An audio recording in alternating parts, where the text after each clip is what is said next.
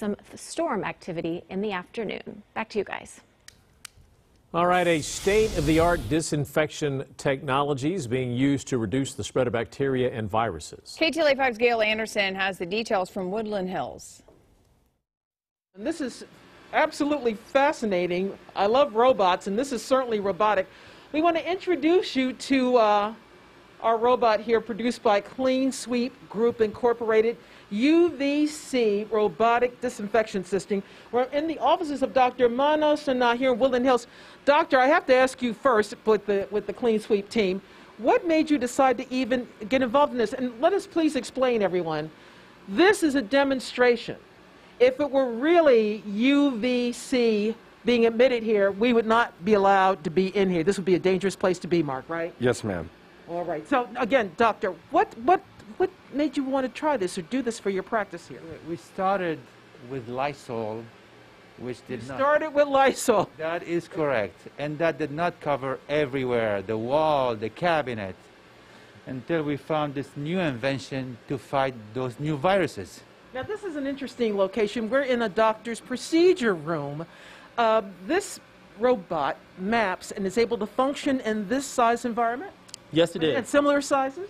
Any size, in any enclosed environment, we can actually use this technology, and we do. So that's why, for cents per square foot, we can provide this particular technology to anyone at any place. Now, up until now, uh, there would be a device that would be stationary in a room. That's correct. We used to use stationary emitters, but we had to have them tethered by an electrical cord, as well as move them three or four or five times within an enclosed space. As you can see, this autonomous robot by OmniLabs actually moves on its own after we program it to a specific map that it will follow every time, and then provide that back to the customer as evidence that the device worked.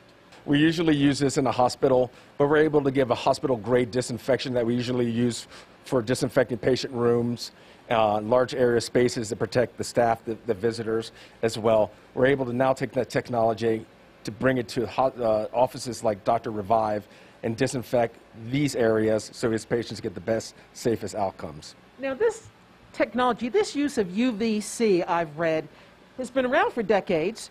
Used it to, to control tuberculosis. Yes, that is correct. These used to uh, use in tuberculosis wards. We're able to now move it, as you can see with the technology.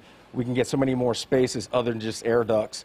We can get ensure that hospital beds, patient sitting areas, et cetera, are disinfected. We can kill any viruses. Uh, anything that has DNA or RNA, we eliminate. a disinfecting solution for the 21st century.